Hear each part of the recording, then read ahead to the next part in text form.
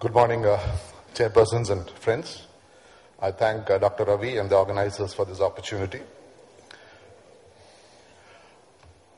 Uh, what is most important in a Bennett fracture is the diagnosis. Many times in a X-ray of the hand, AP and oblique, this fracture may be missed. So whenever there is pain at the base of the thumb, have a zoom in view involving the radial side and you may see a fracture like this, which appears very innocuous and described by this gentleman in this picture. But however, if you manage it uh, incorrectly, it can result in very long standing pain and follow up osteoarthritis. So that's the importance of this fracture. It's a, you know, overload injury very commonly seen in our cricket playing people. Uh, so any history like that, you must look at it. And what is important is that these the major ligaments of the thumb are attached to the very small fragment while the rest of the large distal metacarpal can actually be pulled into displacement by the various muscle forces such as the adductor pollicis which is pulling it into adduction and supination and uh, the uh, abductor pollicis longus which will pull it proximally. That is what makes this uh, fracture dislocate. So that's why it's called a Bennett fracture dislocation. Uh, various views which actually can localize this fractures are used. The most common is the Jeda view, otherwise also called the Betts and Clemens view. And it basically is the way I've shown there, your pronated hand and you shoot straight. So that's important. Rarely you may have to do CT scan, especially if you want to rule out comminution and the other type of fracture, that's a Rolando fracture, which is an intra-articular comminuted fracture of the base rather than a single fragment. So that's a, just to show a picture. Here is the X-ray. You can actually think there is comminution, but the CT scan clearly reveals comminution. So in case you need it, please don't hesitate to do a CT scan. And management, it is an unstable fracture inherently. These muscle forces needs to be negated. And other than undisplaced fracture, this is a fracture which requires a fixation. And late onset osteoarthritis have been reported to be much more when the reduction is pure, poor. Aim to restore the or retain the articular surface as in any other fracture. And if you look at literature, more than 20 different methods have been reported, but the treatment options, as far as I am concerned, are these three. Close reduction and plaster of Paris, especially in the undisplaced ones, close reduction and internal fixations, and open reduction and internal fixation, especially when the fragment size is more than 20% of the articular surface. So this is the indication for the treatment, again.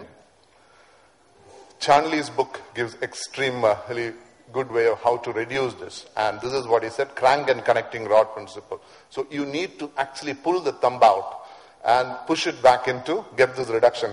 You go, the crank goes to either side, the fracture becomes uh, again displaced. So that's important to maintain it in such a way that your traction is given correctly. Now, how to close reduce this? Again, longitudinal traction is applied to negate the pull of the abductor pollicis longus. The supination and adduction has to be corrected by pronating the metacarpal, as you can see here in this uh, picture. And then you press, give the pressure at the base of the thumb, metacarpal base. And again, always confirm correct restoration of the articular surface by an image intensification, intensifier. Now, how to maintain a close reduction? Again, as you're putting a cast, you must press over the base of the thumb inwardly to maintain that reduction. And at the same time, the head needs a extension force. So that is important, not at the metacarpophalangeal joint, but at the metacarpal head. You have to give an extension force and put a POP cast. Once in a cast, you must take, keep taking check x-rays because it is possible that the fracture can redislocate. So if you're managing, planning to manage conservatively, please continue with check x-rays. And you put a thumb spica cast as shown here. Now, close reduction, this is probably, and fixate, K-wire fixation, this is probably the most accepted method. There are three fixation techniques have been advised. One is you can transfix the base of the first metacarpal to the trapezium. That is fine, a single K-wire. But to be more stable, you go for the Iselin technique. That is, you can have two K-wires going into the second metacarpal. The fracture can be included in your fixation or need not necessarily be. Again, as you see the combination of both into the trapezium and into the second metacarpal. Now that is uh, the preferred way. Now, why I'm showing this picture with a loop is that in case close reduction is not possible, you must open. And there, magnification really is important for this tiny fragments, especially when you're using a, a small fragment screw systems. So this, uh, this is the X-ray that shows good reduction. Once a K-wire is uh, removed, you can see the fracture is in a good place and healed well. Now, blind K-wire introduction is not advisable, especially as painful neuromas can result. So you may have to make a very small incision and there are two dorsal nerves on the thumb which has to be protected. Otherwise, no patient will come back with severe postoperative pain.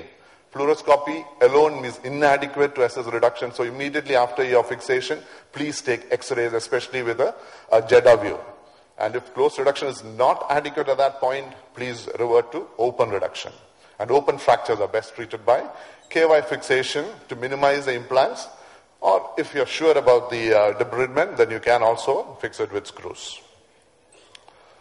The open reduction technique is two incisions have been described. One is a straight radiopalmar incision or the curved Wagner incision. My preference is the Wagner incision. The radiopalmar incision actually is a it goes between at the transition of the dorsal and the palmar skin, which you can see, and starts about one centimeter distal to the tip of the radial styloid and extends about four to five centimeters. Most importantly, the dorsal sensory branch of the radial nerve has to be protected in this. The Wagner incision is a preferred incision, though it has a disadvantage of risk of scarring. But it's a gentle curved incision and you do a capsulotomy and the joint is open for you. It's much easier to see the small medial volar fragment. That is important. Otherwise, on a dorsal incision, it may not always be possible to see this fragment and you're actually putting it blindly. And AO has actually perfected this lag screw technique. I'm just taking uh, their pictures, pointed reduction clamps to hold the fracture. And you can use a 1.2 millimeter K-wire to stabilize this fracture from the radial dorsal aspect. Then a 1.5 millimeter drill is used to make a hole over which a 2.0 drill for the gliding hole is made. That is on the distal fragment. And once, if the fragment is big enough for the screw fixation, then you're fine. And a small fragment, you can put a screw and maybe an additional K-wire if possible. That's an X-ray. Kindly wind up. Sorry, am I across the time? Yes, yes, yes. Okay. So that's it. Uh, so you can have a Wagner incision and a lag screw fixation. And the final slide, this is an algorithm for Bennett fracture dislocation. Undisplaced, displaced or open. You can undisplaced fractures, you can